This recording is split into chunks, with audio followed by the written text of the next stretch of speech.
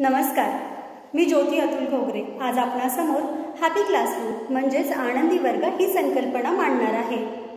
आनंदी वर्ग म्हणजे आपणाला वाटेल प्रशस्त बैठक व्यवस्था असलेला अत्याधुनिक साधनांनी युक्त असा सर्व शैक्षणिक साहित्य असलेला वर्ग.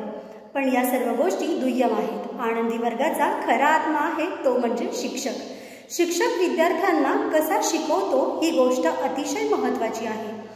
वर्गामध्ये अनेक प्रकारचे विद्यार्थी असतात. त्यांच्या अभिरुची वेगळ्या असतात. त्यांची आकलन क्षमता वेगळी असते. विद्यार्थ्यांना पोहायला क्रीडांगणावरती खेळायला नाचायला गायला लेखन वाचन कविता वाचन भ्रमंती करायला गिर्यारोहण करायला खूप खूप आवडतं. या सगळ्या गोष्टी लक्षात घेऊन मुलांच्या मानसिकतेचा विचार करून शिक्षकांनी जर आपले शिक्षण कधी गायनातून कधी नाचामधून कधी मुलाखतीमधून कधी नाटकामधून दिले तर ते विद्यार्थ्यांपर्यंत अगदी सहजरित्या पोहोचेल. कृतीयुक्त शिक्षण हसत खेळत शिक्षण जर मुलांना शिक्षकांनी दिले तर तो वर्ग नक्कीच आनंदी वर्ग असेल.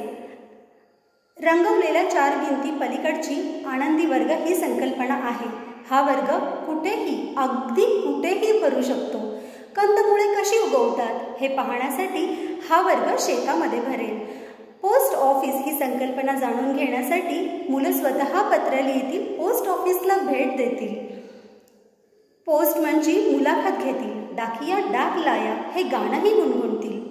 इतिहासातील संकल्पना जाणून घेण्यासाठी त्या पात्राच्या ते स्वतः भूमिका करतील त्यावर आधारित नाटकंही रचतील.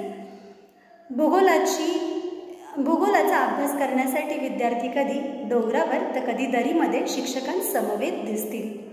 गणितामधील नफा तोटा ही संकल्पना जाणून घेण्यासाठी विद्यार्थी स्वतः बाजारात जाऊन खरेदी विक्रीचे व्यवहार करतील. भाषा विषयातील निसर्गाचे कौतुक करणाऱ्या कविता अभ्यासण्यासाठी तसा स्वतः अनुभव घेण्यासाठी विद्यार्थी निसर्गरम्य वातावरणामध्ये कविता तालासुरात गातील त्यावर ठेकाही धरतील. विज्ञान विषयाचे सर्व प्रयोग ते स्वतः करून पाहतील. अशा प्रकारे प्रत्येक संकल्पना वर्गातील प्रत्येक मुलाच्या मनामध्ये भिडल्या. त्या समजल्या तर आपला वर्ग आनंदी वर्ग होईल. विद्यार्थी हेच तर आपले खरे समीक्षक आहेत.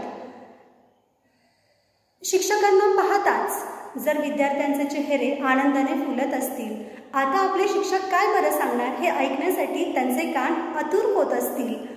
शिक्षकाने जाऊ नये अशी ते वारंवार जर विनंती करत असतील तर समजून घ्या की आपला वर्ग हा आनंदी वर्ग आहे. शिक्षकाने आपल्या विषय ज्ञानावरती प्रभुत्व मिळवून जर त्या संकल्पना वर्गातील प्रत्येक विद्यार्थ्यांपर्यंत पोहोचवल्या तर हा वर्ग नक्कीच आनंदी वर्ग म्हणून गणला जाईल. धन्यवाद.